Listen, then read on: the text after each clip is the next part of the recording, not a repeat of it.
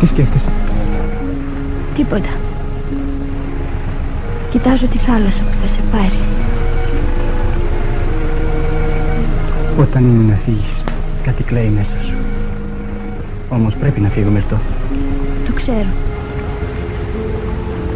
Θα γυρίσεις ένα σοβαρός κύριος και σπουδάσεις στην Ευρώπη. Και εσύ η κυρία ενός κυρίου σπουδάσαντος στην Ευρώπη.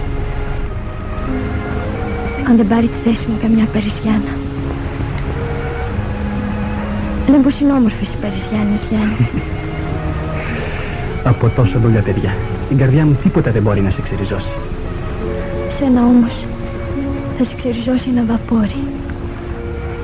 Και αύριο τέτοια ώρα θα καθόμαστε στην ίδια θέση και θα το βλέπουμε να ξεμακραίνει στη θάλασσα.